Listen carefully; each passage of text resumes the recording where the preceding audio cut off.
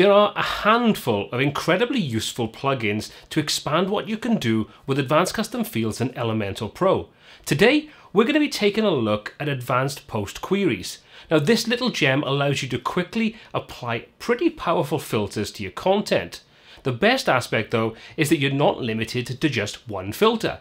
You can easily stack multiple filters or queries to create some pretty comprehensive content filtering.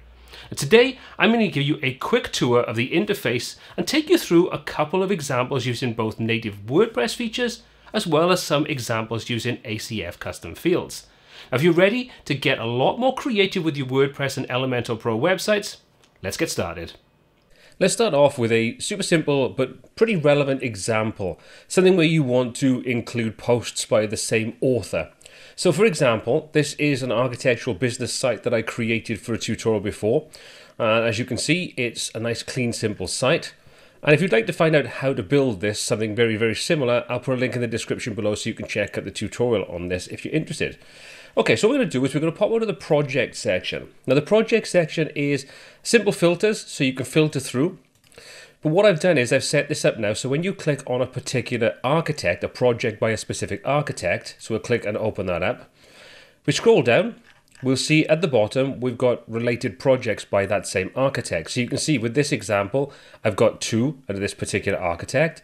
If we come up and choose a different one, we'll take this Hope Park, for example. If we scroll down, you can see I've got more examples by this particular architect. Now, this is just associated with the author of this particular post. So it's a very simple example, but like I say, it's one of those things that a lot of people would want to do. So how do we do it? Well, let's just over to the dashboard of WordPress and I'll show you exactly how to do all this right now. Now for this specific example, I'm using a template that's part of Elementor Pro's theme builder, something I've created. So if we take a look at the single, which is for the single post types, you can see I've got a default portfolio single. So I'm going to edit that with Elementor. Once that opens up Elementor, we can take a look now at adding everything in. Now, everything is set up. This is just going to display that specific project as part of the portfolio. If we come down to the bottom though, this is the area that I want to drop in this new related section. So what we're going to do is we're going to use the posts option. So we're going to grab the posts option, we're going to drag and drop that underneath our title, and that will pull in the basic information that it thinks is correct. Now what this is doing is it's simply pulling in all of the posts. If you're using custom post types, you could change the category where this is coming from to your custom post type, but this is just using standard WordPress posts. Nothing special about them. What we need to do though is, first of all, configure this a little bit. So we're going to change the post per page. We're going to set that to three because we don't want to have too many on there. And I'll quickly change the image size so it looks a little bit better. Then we're going to come down and we're going to remove the comments and the date. If we put the author on, that'll be useful because it allows us to see which author is coming up on there. And if we take a look at what we can see at the moment, you can see we've got two by Paul C and one by Billy Bob. Now, obviously, we want to filter this out based upon the actual author or the architect for this specific example. At the moment, it's just displaying everything. So you'd think you'll come down to query, and inside there, you could use the standard query options for include and exclude. And we can, if we want to, choose author.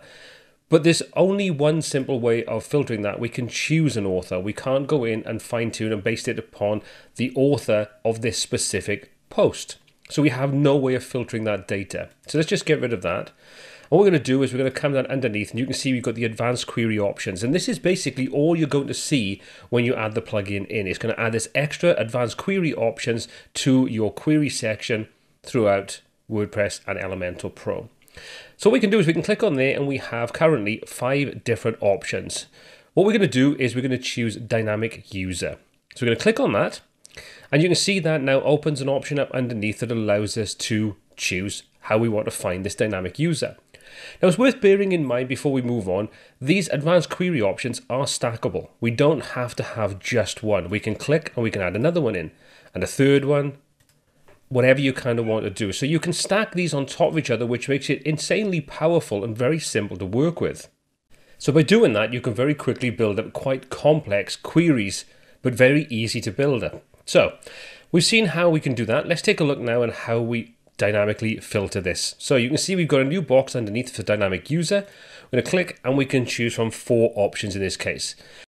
In this example, we're going to choose post author is current post archive author because it's the template for a single post. there's going to be one author associated with it. This will then show the posts, related posts for that specific author. Hope that makes sense. So we're going to choose that option and you'll see now we only see the Billy Bob ones and that's because the example one we're looking at is a project by that specific author kind of thing.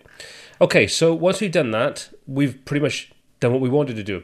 But before we move on, let's take a little look at what we have inside this dynamic user options again. You can see the first two are pretty self-explanatory. The post author is the current user. This is incredibly useful if you are filtering things based upon you being the sort of logged in user. So you could have a list of all of your posts and you'll see only your posts in, for example, a custom dashboard. Now I've used this in the custom front end dashboard video that I did a little while back. If you want to check that out, I'll drop a link to that one in the description below as well so you can take a look at how I use that and how useful it is. We've also got things like custom field is current user, custom field contains current user. If you're using something like advanced custom fields, and you have custom fields to do with user information, then you can grab that info and you can use that to filter out data as well. So if we chose that, for example, you'll see that will open up now extra fields specific to filtering based upon that information.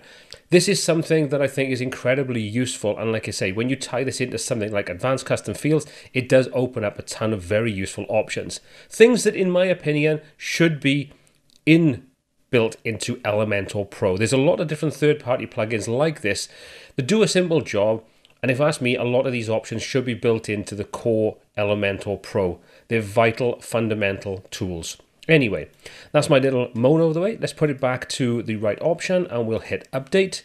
And that then should complete the whole setup. So let's just take a look at that in action now, make sure that everything is working as we expect it to.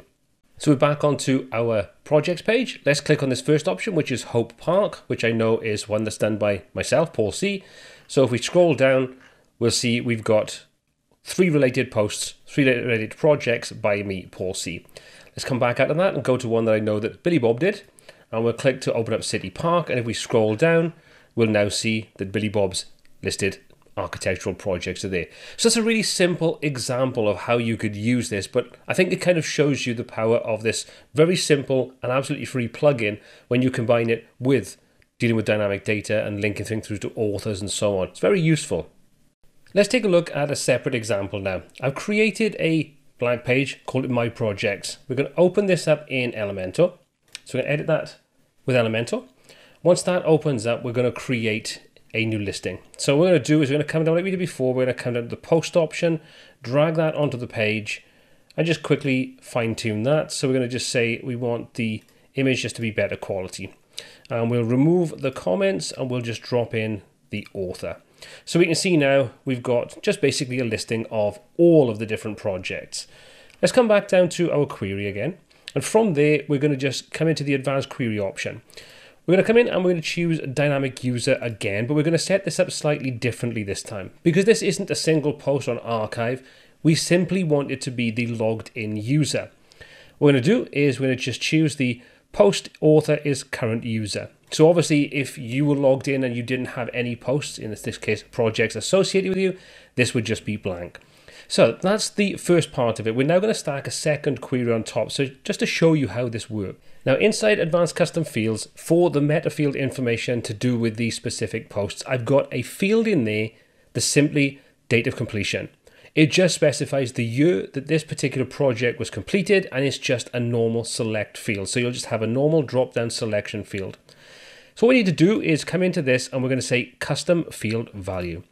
From there, we now have another option that allows us to stack on top of what we currently have. So what we're going to do is we're going to open this up and you can see we have a range of different options.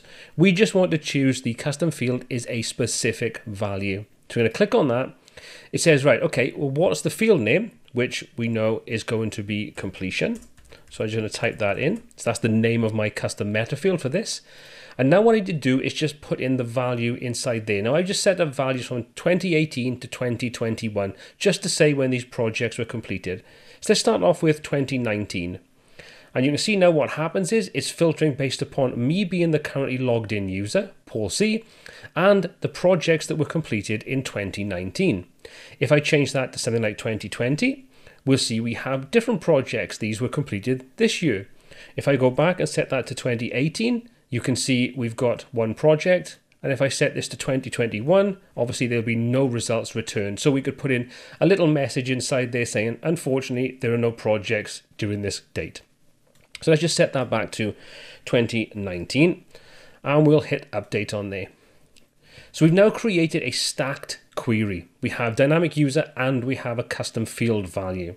So if we come back over now into my projects and we're just going to refresh this page and there's our my projects page. So you can see now it's been filtered out to show only the one that's relevant to 2018, 2019, 2020, whatever we set up as the filter. So let's take a look now as Billy Bob and we'll see we have different values inside there.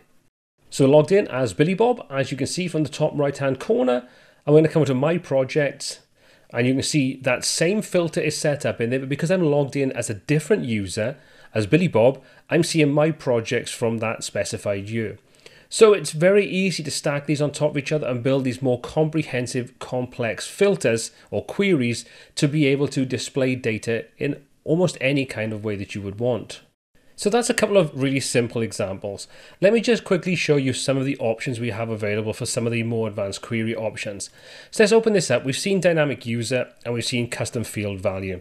Let's take a look at something like the date and time, for example. We can click and from there we can choose the date and time option. So we can specify a custom field is a start date. So this is where you primarily probably want to link this through to something like advanced custom fields, something like that. And then what you can do is you can say custom field to start, and then you can drop in the start. So you could put values to be a start date and an end date, and they have to kind of fit inside those ranges. You know, you can filter this out in lots of different ways. You can say query by the time. You can say you want to include today. So that's the dynamic date and time option. So we get rid of those. You can see we've got dynamic related posts. And from there, we can choose the options. So you can say post is amongst related posts.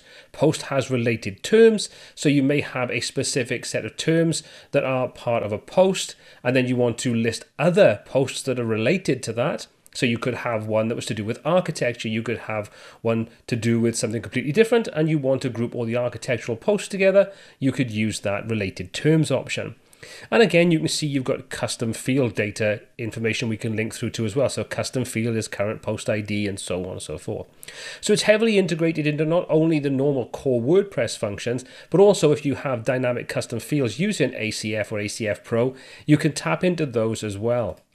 Now, this is a great way of working, and what I would highly recommend you do is combine this to the dynamic conditions or dynamic visibility for Elementor plugins because they will then give you the ability to filter data using this particular plugin and then control the visibility and dynamic conditions if no values are returned, all those kinds of good things. And the beautiful thing about this is all three of those plugins are absolutely free.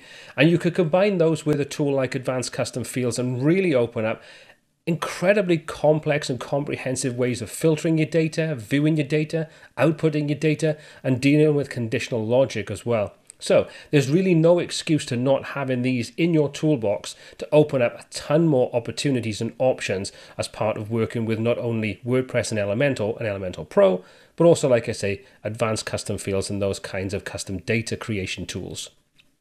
So now that you've seen a couple of examples, could you see yourself using advanced post queries for Elementor in your toolbox? As always, let me know in the comments section below. And if you'd like to see the other tools that I'd recommend, I'll drop some links in the description so you can check those out and pair those up with advanced post queries. You'll have a pretty powerful set of tools there for absolutely no cost. Well, as always, my name is Paul C. This is WP Tuts, and until next time, take care.